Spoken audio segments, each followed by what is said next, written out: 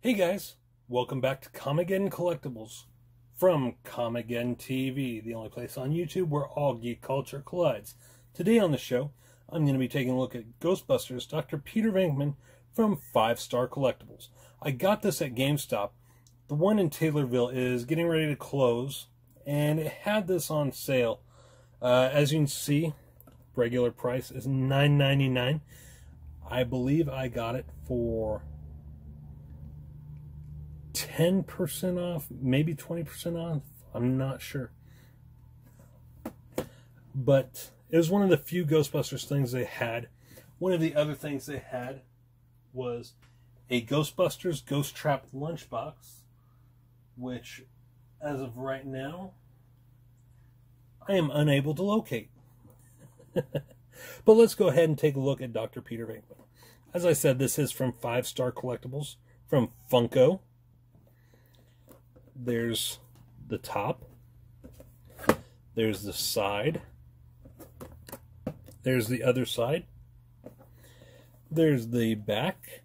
As you can see there, it's Ghostbusters, five star collectibles from Funko.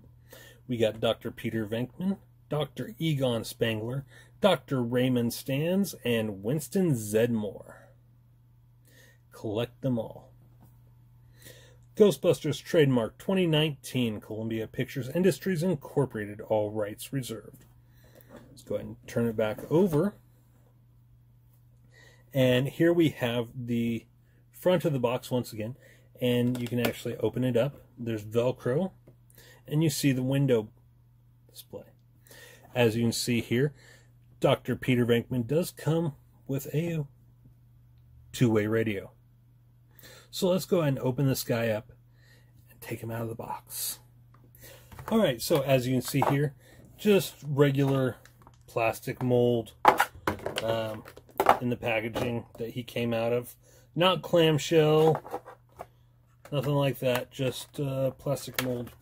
Go ahead and set that to the side because I may or may not put him back in. But There he is there in his two-way radio. Let's see which hand does it fit into? Does not fit in that one very securely. Uh, that one it does fit into which I guess I should have looked on it. Um, mainly because of the part where the antenna hooks to the rest of the radio.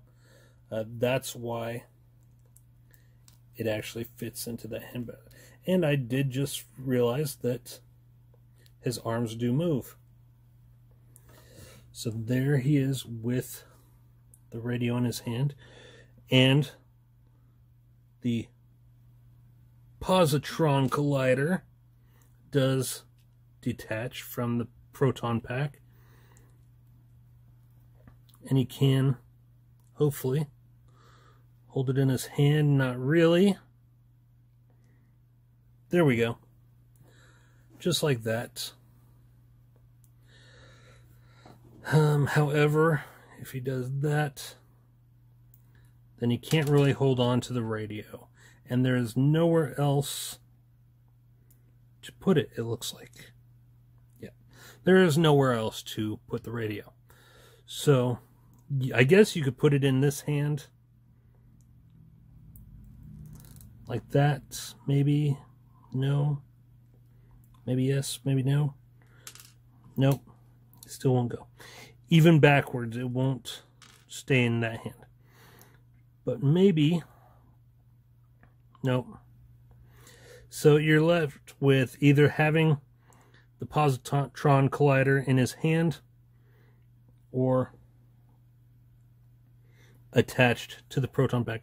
And as you can see there, there's just a little hole on the positron collider and a little slot right there for it to peg into. And then you can put the radio back in his hand just like that. And as I said, the arms do move up and down.